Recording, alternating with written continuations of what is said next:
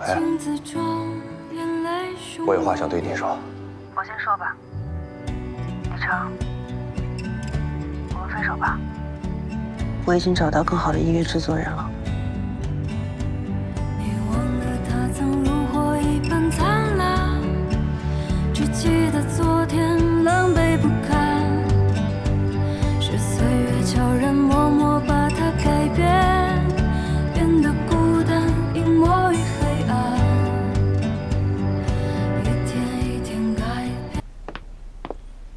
大家都在呢，正好跟大家说个事情。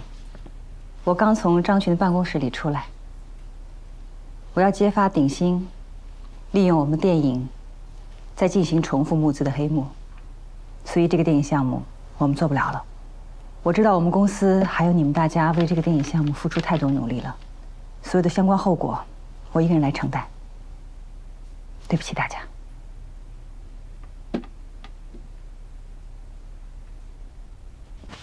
王一杰，王一杰，徐总都跟我们说了，这个项目不错，我们有很多项目可以做，对吧？对呀，你快看，这就是我们接下来的项目——网剧《生活在别处》。什么时候的事儿？我怎么不知道啊？方姐，你快坐下，快快来看看，密谋已久。来来来，方姐，徐总，我们先走了，再见，拜拜。谢谢你啊，徐阳。我还不了解你吗？咱们今儿就不聊工作了。这周末，咱们去郊外放松放松。嗯，这个周末我要在家陪孩子们。冯远，我想问你一句，能不能为自己想想？比如说遇到选择，先不考虑孩子们怎么想，想想自己是不是喜欢。再比如。开始一段新的感情。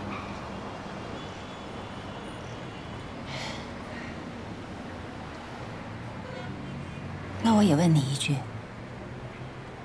好朋友之间可以一起做事业吗？好问题，我想想。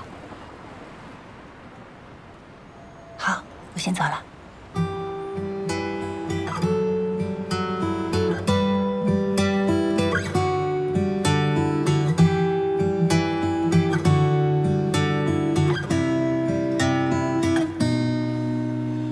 当电影散场了，他们为剧中人一次又一次哭泣。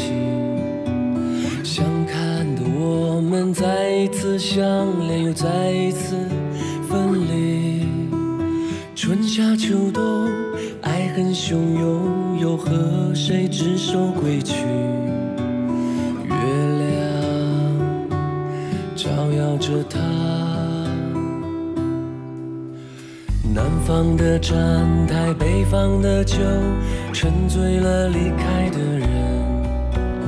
点着的香烟，雨水纷纷，追赶着淋湿的人。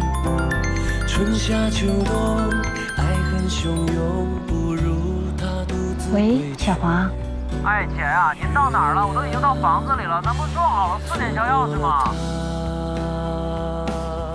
不好意思啊，小黄，这个房子我不租了。是否有你在远方，孤独的像个孩子一样？当初的誓言随风飘荡。凯文哥，这儿你的闪送。什么呀？